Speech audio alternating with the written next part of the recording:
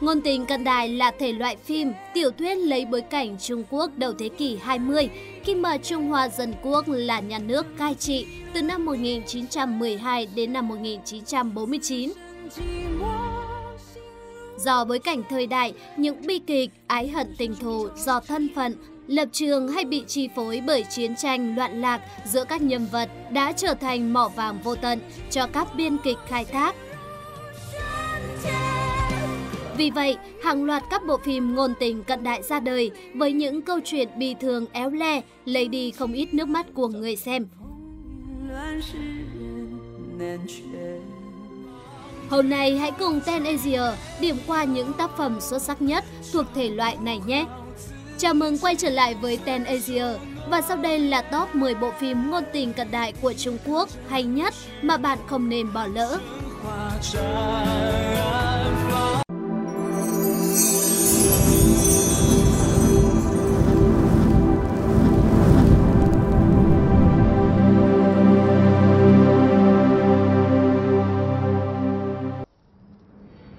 Bán yêu Khuynh Thành 2016 Bán yêu Khuynh Thành là một trong những tác phẩm chuyển thể được nhận xét là phá cách trên màn ảnh hoa ngữ, nhào nặn bởi biên kịch vàng vô chính. Bộ phim lấy bối cảnh vào cuối đời nhà Thanh, trải dài đến thời kỳ dân quốc. Do liên quân tám nước tấn công vào Bắc Kinh, Nhấp Như Phong do Vương Mậu Lôi đóng phải đưa vợ con đi chạy loạn. Trước sự bao vây của kẻ địch để cứu chồng cùng hai con gái, Ứng điệp do nữ hoàng nước mắt An Dĩ Hiền vào vai đã tình nguyện hy sinh và để lộ thân phận yêu nữ của cô. 15 năm sau đó, Nhiếp Khuynh Thành do Lý Nhất Đồng đóng, con gái của Nhiếp Như Phong và ứng điệp, mang trong mình dòng máu nửa người nửa yêu, lại lần nữa giống mẹ mình, rơi vào lưới tình với con người. Cô gặp gỡ và đem lòng yêu mến thiếu gia Minh Hạ do Trương Thiết Hạn thủ vai. Thế nhưng việc Khuynh Thành là bán yêu khiến mối quan hệ của họ luôn gặp trắc trở và chìm trong bi thương.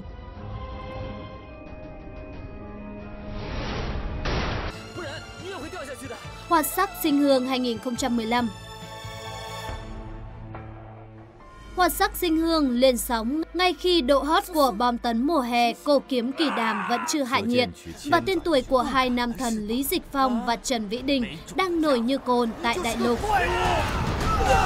Bộ ba sư tôn Long Việt và Đồ Tô từng là mưa làm gió đều được hội ngộ trong phim, lại cộng thêm sự góp mặt của nữ hoàng rating Đường Yên, nên độ hot của Hoa sắc sinh hương là chuyện không phải bàn cãi.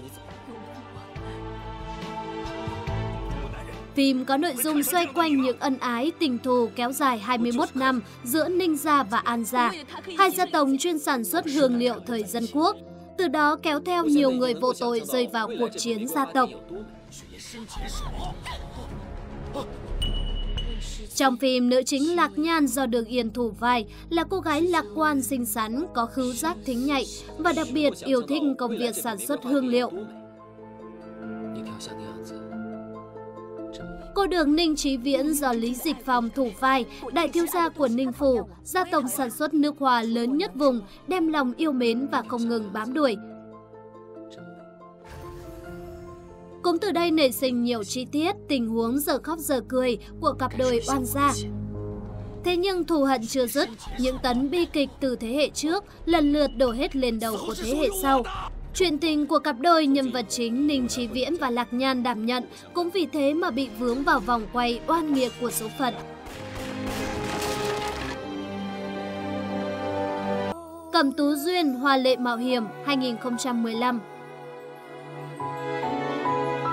Cẩm Tú Duyên, Hoa lệ mạo hiểm được chuyển thể từ tác phẩm cùng tên của nhà văn Niệm Nhất Phim là câu chuyện về mối lương duyên chắc trở của hắc đạo hoàng tử tạ trấn do giáo chủ Huỳnh Hiểu Minh thủ vai và danh nhân kiên cường, thiện lương, Vinh Cầm Tú do Trần Kiều Ân thủ vai.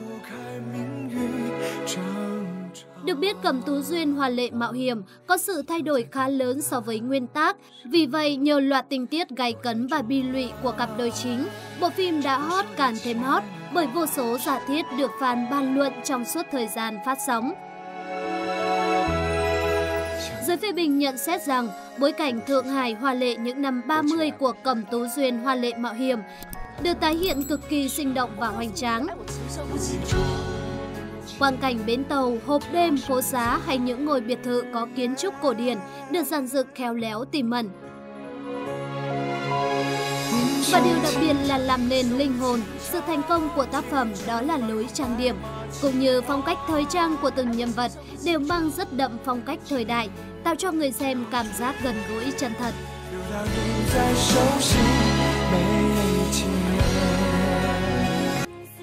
Nhân sinh nếu như lần đầu gặp gỡ 2018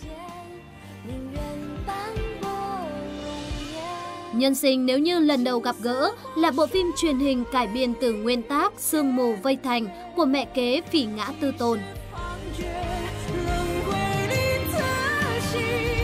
Nội dung xoay quanh chuyện tình giữa Dịch Liên Khải do Hàn Đông Quân thủ vai, một thiếu gia giàu có và quyền lực của Giang Tả, chỉ vì một lần gặp gỡ đã tìm đủ mọi cách để cưới Tần Tang do Tôn Di thủ vai. Một cô gái trẻ còn nhà quan chức cao cấp, vốn đã có người yêu là Lê Vọng Bình do Từ Chính Khê đóng. Bị người yêu bỏ rơi, cha lại gặp nạn nên Tần Tang đành phải kết hôn với Dịch Liên Khải. Chính vì không hiểu được tình cảm của đối phương nên giữa họ luôn xảy ra nhiều tranh chấp và phải trải qua rất nhiều sóng gió. Dịch Liên Khải và Tần Tam mới nhận ra được tình cảm của nhau. Họ yêu và cuối cùng ở bên nhau sau khi đã bỏ lỡ rất nhiều thời gian. Được biết, tiểu thuyết Sương mù vây thành của Phí Ngã Tư Tôn có độ dài khoảng 220.000 từ sau khi cải biên thành kịch bản, có độ dài gấp 3 lần nguyên tác. Chính vì vậy, một số tình tiết diễn biến trong phim có sự thay đổi nhất định. Chẳng hạn như khán giả cuối cùng đã xem được vợ chồng Dịch Liên Khải và Tần Tăng cùng nhau thú nhận tình cảm thực sự dành cho đối phương, được nghe những câu nói ngọt đến sâu răng của Dịch Liên Khải, những điều hoàn toàn không có trong nguyên tác. Tuy nhiên, cũng chính vì điều này, phim vấp phải kiện tụng bản quyền giữa đơn vị sản xuất với tác giả Phỉ Ngã Tư Tồn và mất điểm trong mắt công chúng.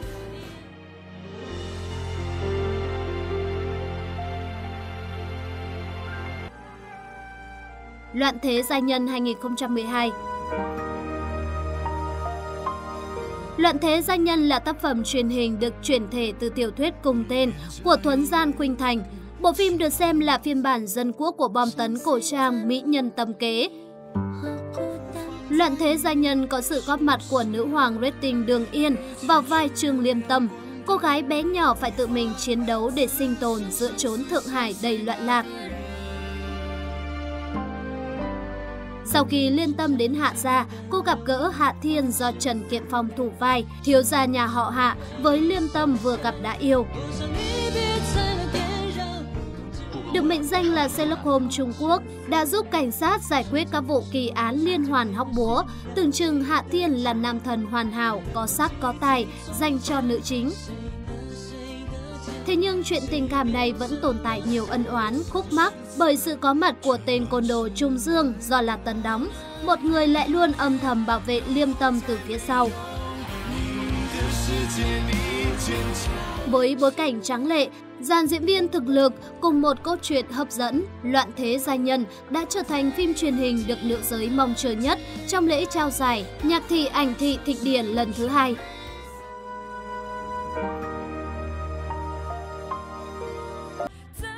Phong hỏa gia nhân 2013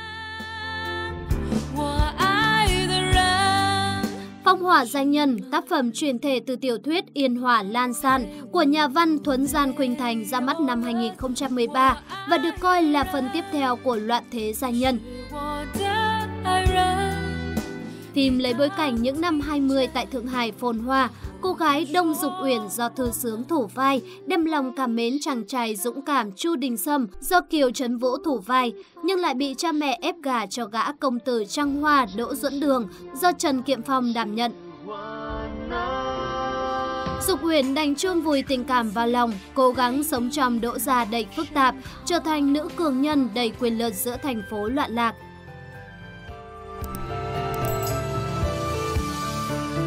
Từ sau mỹ nhân tâm kế tên tuổi vua Lưu Hằng Trần Kiệm Phong được xếp vào hàng ngôi sao ăn khách, anh liên tiếp có mặt trong các dự án truyền hình lớn và đảm nhận những tuyến vai gai góc đáng quan tâm. Lần hợp diễn này với tiểu tình vệ Thư Sướng và Mỹ Nam cổ trang Kiều Trấn Vũ sẽ có mối quan hệ tay bà rắc rối xen lẫn nửa yêu nửa hận.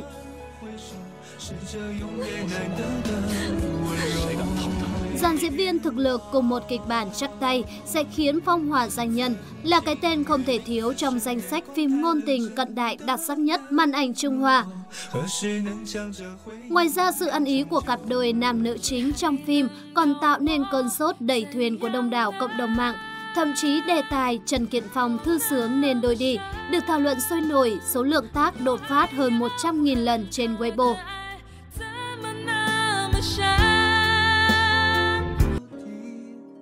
Vẫn cứ thích em 2015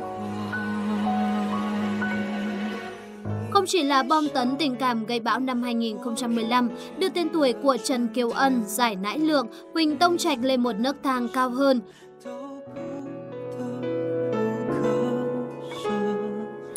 Vẫn cứ thích em còn là sân khấu debut hoành tráng cho một loạt nam thần thế hệ mới như Cao Vĩ Quang, Trương Vân Long, Lý Tử Phong, Đàm Tuấn Ngạn. Chuyển thể từ tiểu thuyết cùng tên của tác giả Đồng Hoa, Vẫn cứ thích em là bộ phim khai thác về tình yêu thanh xuân và lòng nhiệt huyết của những người trẻ trong quân đội. Nội dung xoay quanh cô gái nghèo Tiểu Bà Bảo do Trần Kiều Ân thủ vai vì muốn cứu chữa cho mẹ đã mạo danh thân phận nữ tiến sĩ ngành tâm lý tiêu hàm do Trịnh Sản đóng. Thầy Tiêu Hàm đến trường quân đội làm giáo quan, cô đã có cuộc chạm trán với những học viên tinh danh nhưng tốt bụng. Trong đó, hai học viên xuất sắc nhất là Hạng Hạo do Giả Nãi Lượng đảm nhận và Thẩm Văn Đào do Huỳnh Tông Trạch thủ vai lại đều đem lòng yêu mến cô.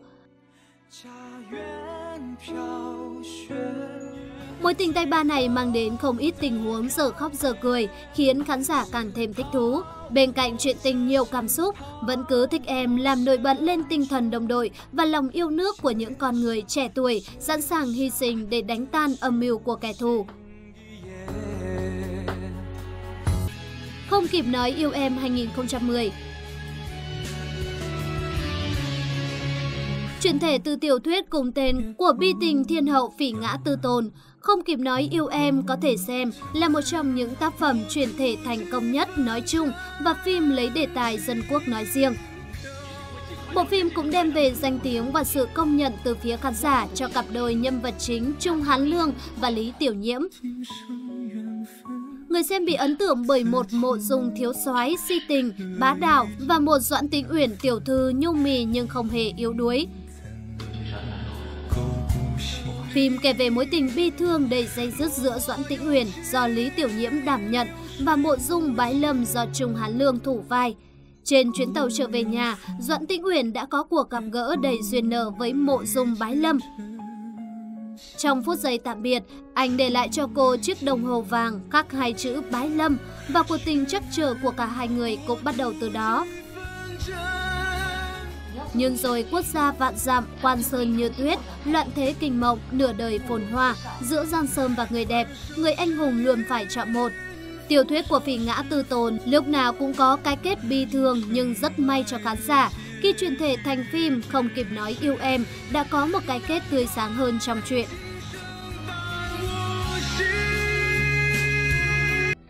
Kinh Hoa Yên Vân 2005 Kinh Hoa Yên Vân là một bộ phim được truyền thể từ cuốn tiểu thuyết đặc sắc Moment in Peking của tác giả Lâm Ngữ Đường. Tác phẩm kinh điển này đã mang đến cho người xem ấn tượng về những nét văn hóa truyền thống đặc sắc của Trung Hoa. Phim có sự góp mặt của dàn diễn viên hùng hậu như Triệu Vi, Phan Việt Minh, Trần Bảo Quốc, Vương Cương, Huỳnh Duy Đức, Nhận được sự quan tâm nồng nhiệt và nhiều lời khen của giới phê bình, Kim Hoa Yêm Vân đã trở thành một trong 10 bộ phim truyền hình xuất sắc nhất được yêu thích năm 2005. Lấy bối cảnh nhuốm đầy màu sắc Trung Hoa cổ xưa ở Bắc Bình, phim xoay quanh cuộc đời nhân vật Diêu Mộc Lan cùng những vui buồn ân oán của hai đại gia đình họ Tăng, Diêu trong suốt hơn 30 năm cho đến khi diễn ra cuộc chiến tranh chống Nhật. Mộc Lan là một người con gái tài sắc vẹn toàn, thừa hưởng sự đoan trang hiền thục của mẹ, sự thông minh hiểu biết của cha. Nàng là người phụ nữ lý tưởng nho đạo dung hòa bổ trợ lẫn nhau, vừa có trí tuệ thế tục của nho gia, lại vừa có cái chân thực siêu thoát tiêu diêu tự tại của đạo gia. Mặc dù đã có hẹn ước với khổng lập phu, nhưng vì em gái mặt sầu bỏ trốn trong ngày hôn lễ với Tăng Tôn Á, không đành nhìn cha mẹ phải bẽ mặt. Mộc Lan đau xót đành lên kiệu hoa thay em và mọi bi kịch đau thương của những con người thuộc xã hội Trung Hoa cũ giữa trốn kinh thành phồn hoa cũng bắt đầu từ đây.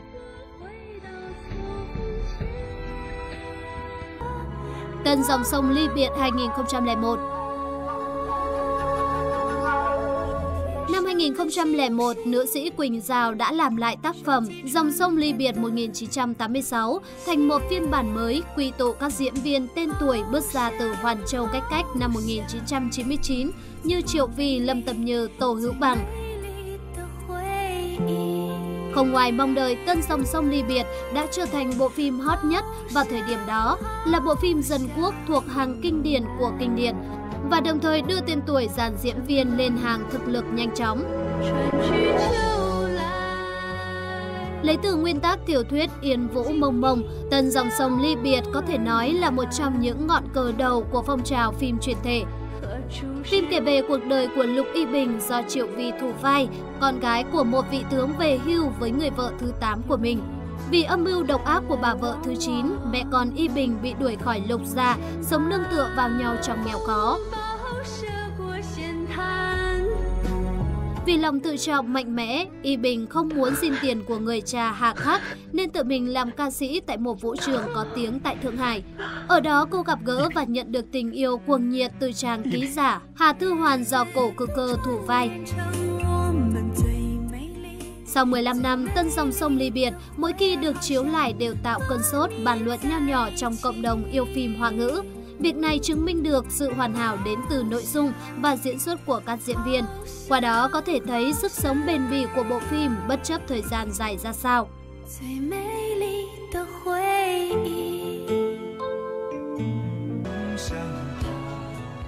Đề tài dân quốc luôn là sân chơi cho những nhà biên kịch ưa thích mạo hiểm, bởi bối cảnh đặc biệt, ngôn tình cận đại không phải miếng mồi dễ ăn cho các nhà làm phim. Nếu làm không tới không khai thác triệt để câu chuyện thời đại thì rất có thể cả bộ phim sẽ trở thành tội đồ trong mắt khán giả. Lẫn lộn giữa những tác phẩm thượng vàng hạ cám, bạn yêu thích thể loại này nhưng vẫn không biết nên chọn ra cái tên nào đáng để xem. Vậy thì trên đây là 10 bộ phim ngôn tình cận đại Trung Quốc hay nhất mà Ten Asia đã chọn ra cho bạn. Nếu bạn thấy danh sách trên hữu ích, hãy like, share, subscribe và bật thông báo kênh Ten Asia để cập nhật những video mới nhất. Xin chào và hẹn gặp lại!